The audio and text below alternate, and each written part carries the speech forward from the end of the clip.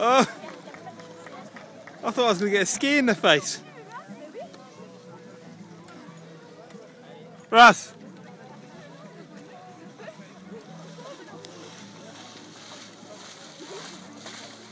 You alright? Fun? You gonna give it another go?